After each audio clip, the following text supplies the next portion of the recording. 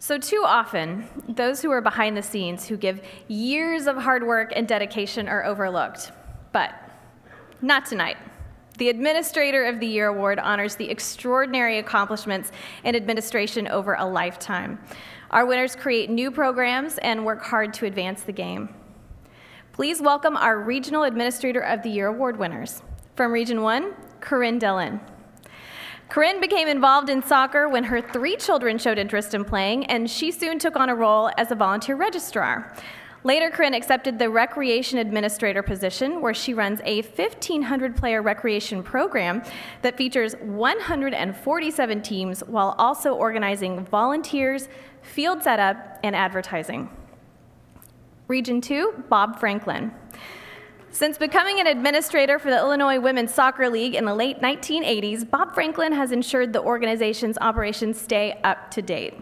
During more than 30 years of involvement in soccer, Bob has built lasting relationships with many members of the soccer community while using his vision and his passion to improve the game in his area. From Region 3, Hugh Lee.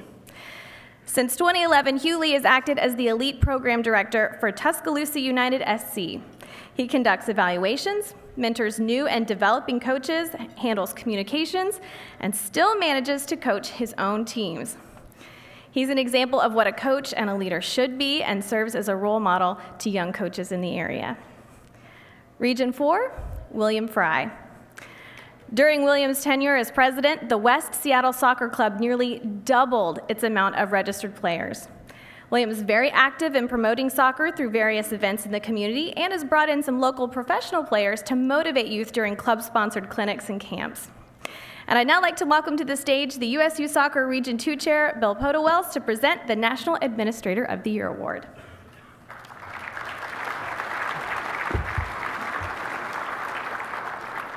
You know, this year, we should give this group a round of applause. I mean, these are a hardworking group behind the scenes. They're professionals.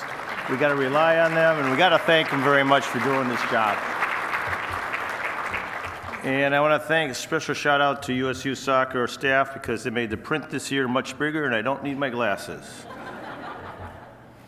so, after we have a round of applause, it's my honor to announce the US Youth Soccer National Administrator of the Year award goes to William Fry.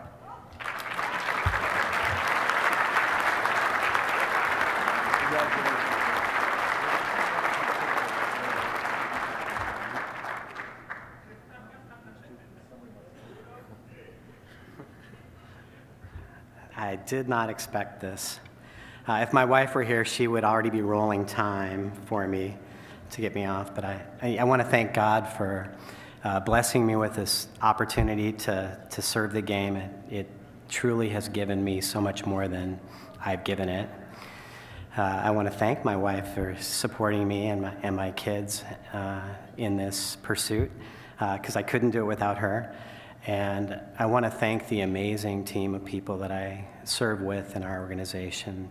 Um, they really, you know, I represent them. It's, it's their work and their efforts, and, and I thank you all for this recognition. Thanks.